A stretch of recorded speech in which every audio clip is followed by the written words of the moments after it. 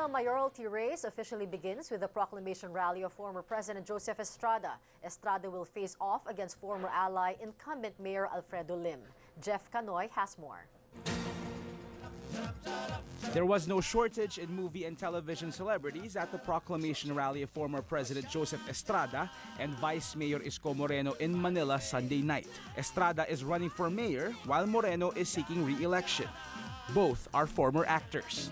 With a host of celebrities who went up on stage, even senatorial candidates of the United Nationalist Alliance joined in the dance performances. The vice president was also there to endorse the candidates and participate in the festivities. Senator Jinggoy Estrada was also present, as well as his half-brother, una candidate JV Ejercito, to endorse their father's candidacy.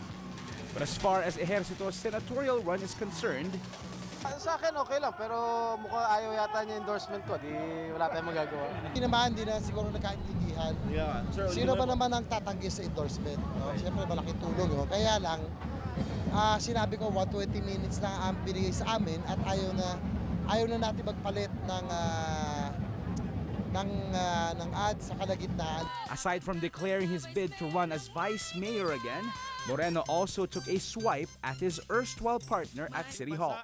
Ano naman ang meron 21 years after ang syudad ng Maynila? Ikwento nyo naman, maaring baka ako'y namumuliti ka lang. Ngunit ako'y nagtatanong lang. Meron ba tayong maikukwento? Anyari, Mayor? Nga nga, bumangon sa norte si Asyong Salonga. Hindi nakatiis kay Dirty Harry. Gugulpihin niya ito.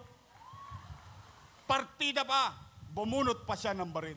Puro takot-takot, manduduro naman. Iyakin pa. Estrada laid down his plans for Manila.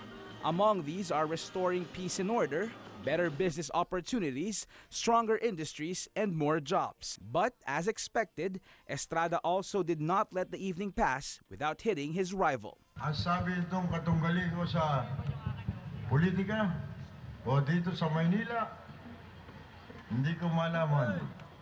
Medyo yanin na yata. Sinabi niya, ako daw po ay ex-convict at plunderer. Umimili- ang sagot ko naman sa kanya, huwag ka nang lumihis sa issue.